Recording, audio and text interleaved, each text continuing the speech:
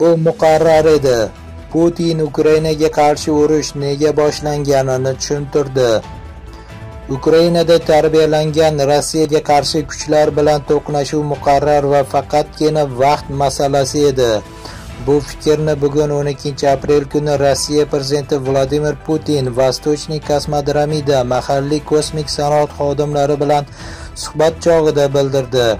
Ular ukrainani rossiyaga qarshi tayanch nuqtasiga aylantira boshladilar. U yerda uzoq vaqtdan beri mavjud bo'lgan millatchilik va neonasizm nihollarini o'stira boshladilar degan putin.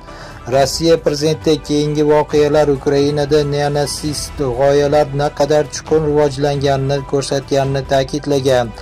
Bu ochiq oydin haqiqat neonasizm afsuski bizga yaqin anchagina katta mamlakatda reallikka aylandi. Bu ochiq oydin narsa bu muqarrar edi yagona savol vaqt edi deya qo'shimcha qilgan u. Putinning ta'kidlashicha maxsus harbiy operatsiya maqsadlariga erishishda rossiya federatsiyasi donbass aholisiga yordam bermoqda. Ikkinchi tomondan rossiyaning o'z xavfsizligini ta'minlash choralarini ko'rmoqda. Ochig'i bizda boshqa tanlov yo'q edi bu to'g'ri. Va hech qanday shubha yo'qki maxsus operatsiya maqsadlariga erishadilar. Maqsadlar mutlaqo tushunarli ular oliyjanobdir degan putin. Asosiy maqsad donbassdagi odamlarga biz tan olishga majbur bo'lgan donbass xalqiga yordam berish chunki g'arb tomonidan rag'batlantirilgan kiyev hukumati muammolarni tinch yo'l bilan hal qilishga qaratilgan minsk kelishuvlarini bajarishdan bosh tortdi degan putin.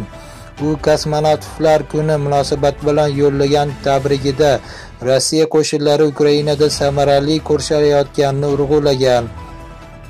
Bugungi kunda aferizmlarda donbassda maxsus harbiy operatsiyada qatnashmoqda. Donbass xalq respublikalari yordam bermoqda.